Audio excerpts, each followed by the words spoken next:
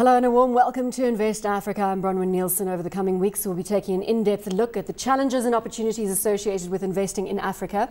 We'll be traveling up and down the continent, getting insight into the various economic territories across Africa. This week, we travel to Kenya, dubbed East Africa's powerhouse, to explore its growth potential and other pressing challenges the country is facing. Spanning close to 600,000 square kilometers, Kenya is home to some 39 million people. Situated between Somalia and Tanzania, bordered by the Indian Ocean, Kenya is known as the regional hub for trade and finance in East Africa. A significant 22% of Kenya's GDP still stems from its agricultural sector, which employs over two thirds of the labour force. The country has also posted significant growth in the service sector, which contributes just over 60% of GDP. This is mainly attributed to the rapid expansion of their telecoms and financial services over the past decade. Although the country is an exporter of coffee and fish, mainly to Uganda, Tanzania, and the UK, Kenya is still a net importer of commodities such as iron, plastic, and machinery to import partners India, China, and South Africa. Between 2003 and 2007, the Kenyan government embarked on an economic reform program, which led to a gradual recovery of GDP to 7% in 2007 from 2.8% in 2003. However, this was dampened by violent outbursts preceding the general elections that took place late in 2007 the economic downturn was further intensified by drought and the global financial crisis, which posted GDP at less than 2% in 2008. The economy rebounded between 2009 to 2010. However, 2011 saw growth of 4.3% due to inflationary pressures and sharp currency depreciation, which was fueled by increased costs in food, fuel imports, and a shrinking tourism sector. Now, coupled by, by the increase in the price of oil, uh, you know, it means that the economy then went into kind of a, a shock and the economic growth slowed down substantially. We have recently started recovering. The stock market has started recovering slowly. Uh, but the threat still remains because the euro crisis is still there. The oil price is still going up. And the price of oil, once oil goes up, it affects uh, our inflation in this country. And uh, as such, you find that, uh, you know, the interest rates go up and therefore business suffer as a whole. The establishment of the EAC came from the understanding that sustained growth can be derived from regional integration, with objectives including harmonization, tariffs, and customs regimes, free movement of people, and improving regional infrastructures. What, what holds back our competition? Costs. You know, it, it costs a tremendous amount of money to get our imports from Mombasa to Nairobi. We're one of the most expensive countries in the world to do that. Um, you know, Uganda is more expensive than we are, Rwanda is more expensive than we are. Why? Because those goods have to come through Kenya. That's the only reason. This week, Kenya saw the first tranche of a 600 million US dollar international loan syndicate to the finance ministry. These funds will be used to support Kenya's ambitious infrastructure developments, especially roads which are pivotal to Kenya's economic growth.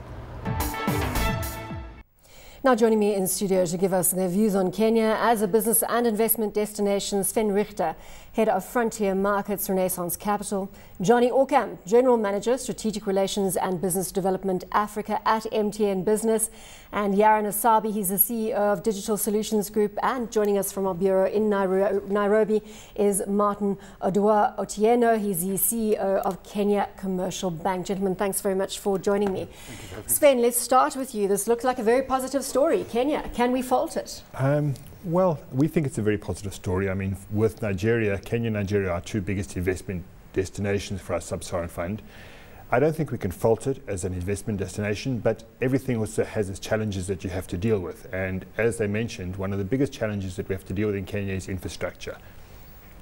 Well, this is nothing new to the African continent story. Martin, let's throw it to you. One of the biggest challenges, says Sven, is infrastructure. How are we doing on the infrastructure front in, in Nairobi specifically?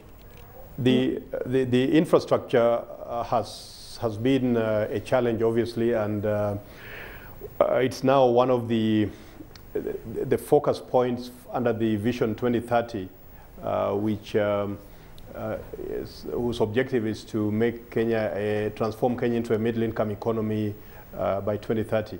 And so there's a lot of work that is going on around infrastructure at the moment.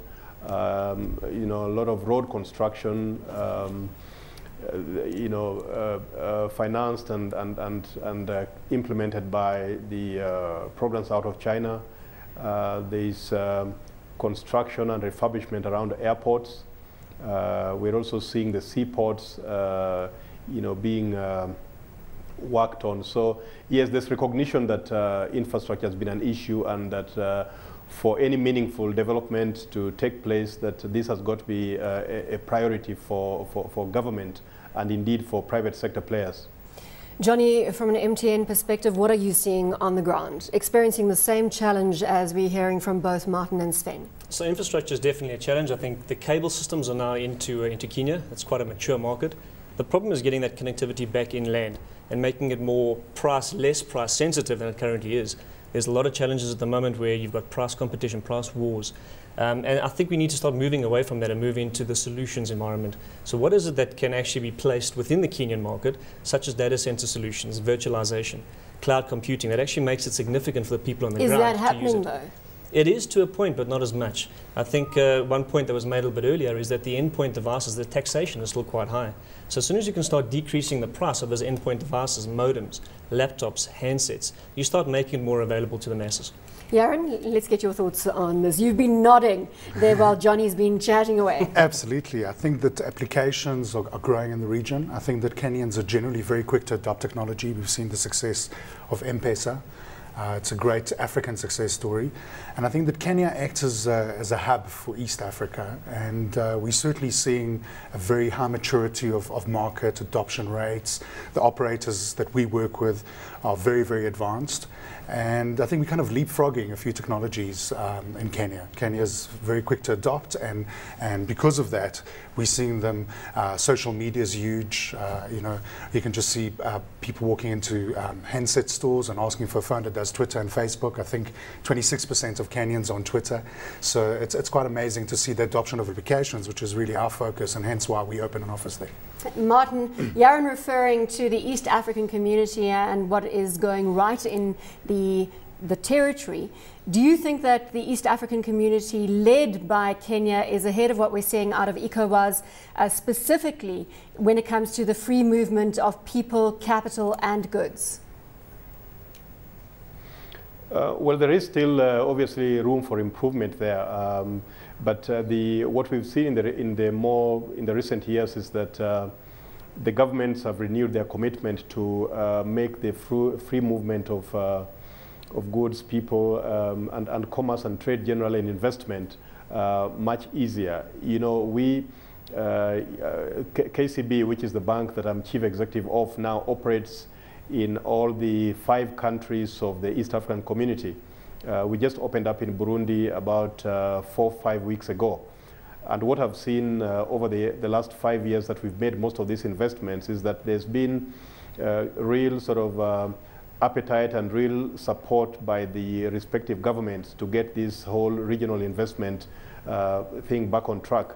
We still have a few challenges around free movement of people and of course the the tax regime is still, uh, uh, you know, some way to go. Uh, but I, I, believe that the commitment is there, and over the, the, the coming years, we'll see this coming much, much more, more closely. and and a lot of it, in fact, is being driven by the private sector because uh, private sector is keen to go out and uh, invest and, and, and make money and, and, and grow their businesses. So there's a lot of private, uh, uh, public sector discussions, uh, you know, government to government and government to private sector groupings uh, ongoing to accelerate this. Sven, the tax regime has yes. some way to go. How quickly do you think we're going to get re reform on this front? Well, it's always challenging exactly how far, you know, how quick. I think one of the challenges that we do have now is obviously Kenya's going into elections. So I think during election, all those things will take a backseat. But, you know, if we just look at the integration that there is now, And the fact that there was a history of integration previously, we as investors look at Kenya as a hub for the region, and not just us. If you look at at headquarters of multinational firms, they're headquartered in Nairobi. You look at where the UN for East Africa is, it's headquartered in Nairobi. So everyone does think that this is the hub, and we think a tax will, will come about, people will be able to move, and it's going to be, we think of Kenya as 120 million people, not 40 million people, because we incorporate everything. And as also you have oil finds in places like Rwanda, not so much Rwanda, but Uganda, and also now in Kenya, all of that will flow through Kenya back and forth in terms of the transportation, and the money is being invested into the railroads and into the improvement. So we think is a big, a big integration coming. Regulation must be a headache on, on your side, Johnny. I mean, I hate to I hate to comment always on regulation because regulation in Africa generally is, is a bit of a challenge. You just got to live with it. You got to live with it. You got to you got to obviously work with it. I mean, that's that's the whole point of, of, of MTN working in Africa as we, we work with the regulations. I think it's it's using what we have in place at the moment. Like in Kenya, there's a universal access fund. That universal access fund may not be used as significantly as it should be used. Um, we have them in, in the complete in, in Zambia. We have it in uh, in Ethiopia. You have them well when it does completely deregulate. You have it in Tanzania. Now, what are they using the Universal Access Fund for that can benefit the end customer? At this stage, I don't see it happening. Um, and it's for private, the private guys to say, MTN, to go to the government and say, this is what we'd like to do in some of the schools. This is what we'd like to do in some of the government institutions. Let's use some of those funds to make it beneficial. And I, I think I, I, agree with the point that was made in, in Kenya. We really need to work with government to make it available. How receptive are the regulators to the digital solutions? Now, of course, that also plays into MTN, but Facebook, Twitter, I mean, this is a new game, and it certainly flies in the face of regulation. I mean, you can't control. Absolutely. I think, I think that it's, it's, it's, new, so therefore it's still being regulated. I think throughout Africa, there's uh, uh, an uncertainty how to regulate because they're trying to follow uh, what's happening internationally and what's happening in Europe and in the States. Um, but uh, certainly the adoption is there. I think that Kenyans, as I said earlier, are. are Don't we need to just accept that there's, there's no place for reg regulation in social media? Ex absolutely, because uh, at the end of the day, the OTT players kind of um, are so almost self regulated because the crowd is kind of determining where the regulation should go. So uh, I think if Facebook comes out with a policy that people object to, then they make a big noise about it, and the same with Twitter. And uh, I think for, for, the regulator, it's very tough to, to kind of regulate an environment that's regulated by the crowds. Martin, this is an interesting one. We're just going to pull out this section a little bit further. But how are you reacting to the social media wave from a Kenya commercial bank perspective? Have you got any thoughts for us there? Uh, yes, we, we are certainly in that social media space. Uh, if you you can you can find us uh, at um, at K, KCB Group uh, and, and what we are finding as a bank is that, uh, you know, um, there's, there's, there's increased interaction clearly with our customers and other stakeholders through, um, through Twitter uh, and also uh, Facebook. So it's, it's, it's a revolution of its own, which uh, I don't think that businesses can uh, afford to ignore or to avoid these days. So so I participate, my senior team participate, and uh, you know we, we link up with other organizations, uh, and I find that uh, you know some of the issues that hitherto didn't come to light at uh, senior levels are actually being brought to uh, uh, our attention much much faster, and we've got to respond to to them. So. So there's a, there's a sense in which we've got to find a, a strategy that deals with social social media positively, but also how we address some of the negative impacts which may, uh, uh, which may come with it. We're going to a quick commercial break. More on Invest Africa when we return. Don't go anywhere.